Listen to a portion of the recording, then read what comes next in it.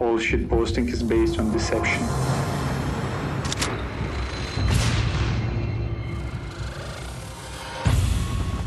For years, the Hiromoot's greed has made the boards a battlefield.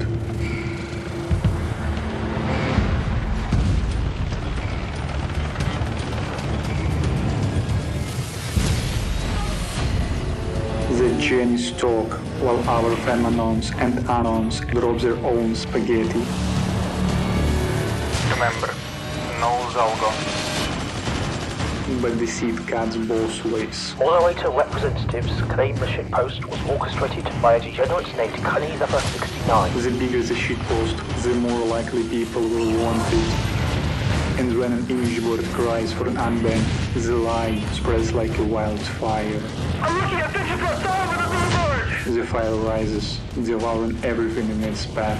This is a deliberate abuse of the TOS of 4 channel. Our moderators believe that they alone dictate the course of history. And all it takes is the will of a single shitposter.